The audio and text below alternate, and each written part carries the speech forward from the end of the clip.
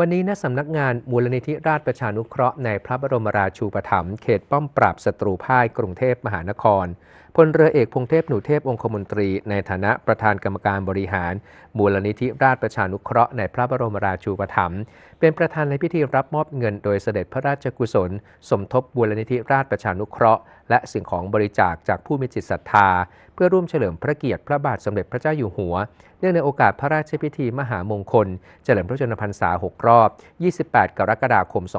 2567 ดังนี้ บริษัทท่าอากาศยานบริษัทท่าอากาศยานไทย จำกัดมหาชน นำโดยพลตำรวจเอกวิษณุปราสาททองโอสถ และชมรมผู้ใหญ่ใจบุญนำโดยดรธีรยุทธ์ครุฑพันธ์มอบตู้ทำน้ำเย็นสแตนเลส 20 ตู้ โดยมูลนิธิราชประชานุเคราะห์จะนำไปดำเนินการตามวัตถุประสงค์ ทั้งการให้การสงเคราะห์ช่วยเหลือผู้ประสบสาธารณภัย ที่เกิดขึ้นทั่วประเทศ การมอบเงินสงเคราะห์แก่ครอบครัวที่เสียชีวิตจากสาธารณภัย และการสงเคราะห์ด้านการศึกษา